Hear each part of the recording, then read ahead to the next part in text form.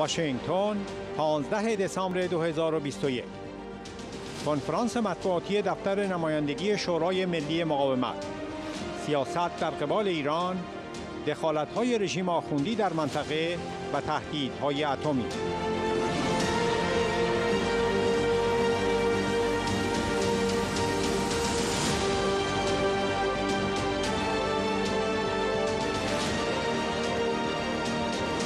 معرفی کتاب تهدید پهپادی سپاه پاسداران ترفند یک رژیم درمانده برای قدرت نمایی و جنگ افروزی.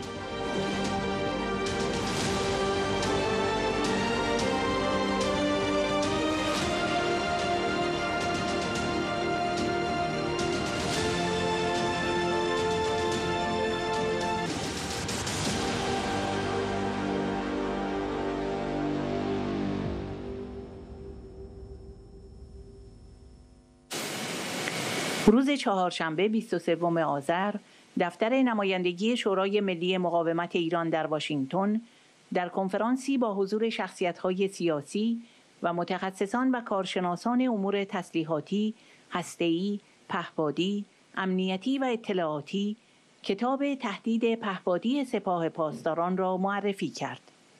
سخنرانان این کنفرانس عبارت بودند از سناتور جوزف لیبرمن کاندیدای معاونت ریاست جمهوری در انتخابات سال 2000 سفیر رابرت جوزف معاون پیشین وزیر امور خارجه در امور کنترل تسلیحاتی و امنیت بین المللی دیوید شد مدیر آژانس اطلاعات دفاعی آمریکا 2015 پروفسور متیو کرونیک از دانشگاه جورج تاون و مدیر ابتکار استراتژی جهانی در شورای آتلانتیک.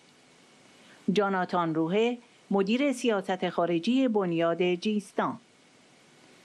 در این کنفرانس علیرضا جعفرزاده معاون نمایندگی شورای ملی مقاومت ایران در آمریکا به معرفی کتاب تهدید پهپادی سپاه پاسداران پرداخت.